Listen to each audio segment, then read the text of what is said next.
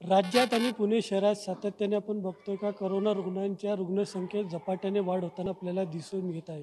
पुणे शहरात देखील दिवसभरात चार ते पाच हजार रुग्णांची वाढ होताना आपल्याला दिसून येत आहे.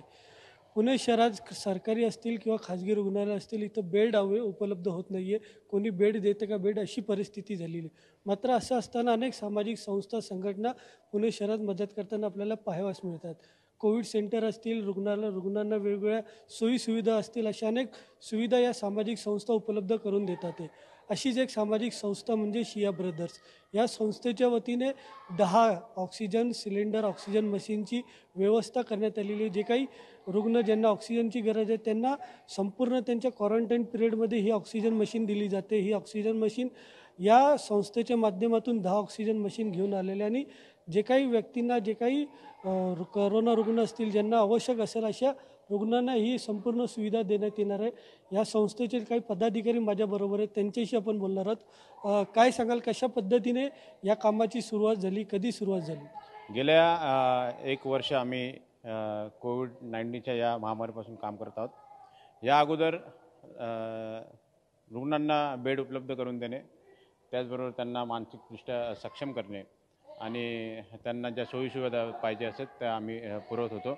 परंतु आत्ता गेल्या काही दिवसापासून पुण्यामध्ये फार मोठं संकट निर्माण झालेलं आहे.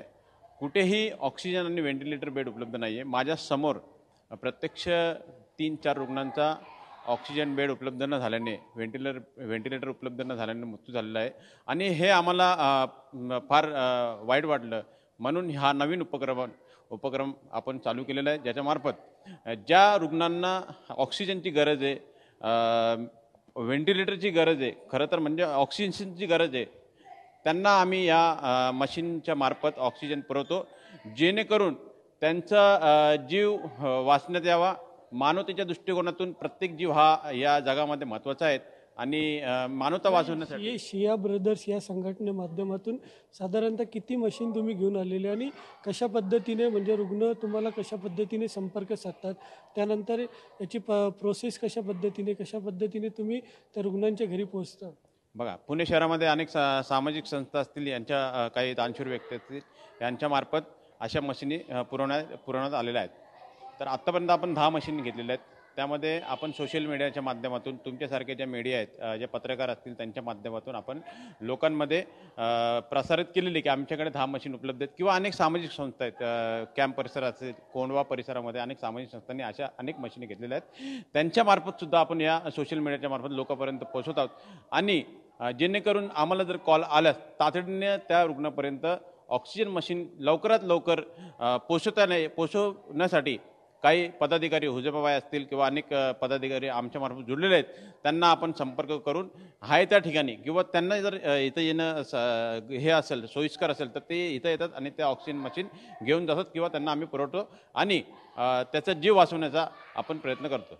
आपण या ठिकाणी बघितलं का अनेक संस्था अनेक संघटना पुणे शहरात अशा पद्धतीने मदत करताना आपल्याला दिसून येतात. कोणत्याही मोबदला नाही. फक्त मोफत. रुग्णसेवा हीच ईश्वर सेवा समजून या संस्थेच्या माध्यमातून या ऑक्सिजन मशीन असेल त्याच पद्धतीने ऑक्सिजन सिलेंडरचा देखील पुरवठा केला जातो. आपण बघतोय का राज्यात सातत्याने ऑक्सिजन सिलेंडरचा मोठ्या प्रमाणात तुटवडा जाणवतो. मात्र या संस्थेच्या माध्यमातून रुग्णांना कोणत्याही परिस्थितीचा त्रास होऊ नये. रुग्णांना कशाही त्रास होऊ नये. ऑक्सिजन लेवल असेल त्याच पद्धतीने कोणत्याही समस्या असेल या संपूर्ण सोयीसुविधा उपलब्ध करून दिल्या जात आहे सध्या सय्यद ई टी भारत पुणे.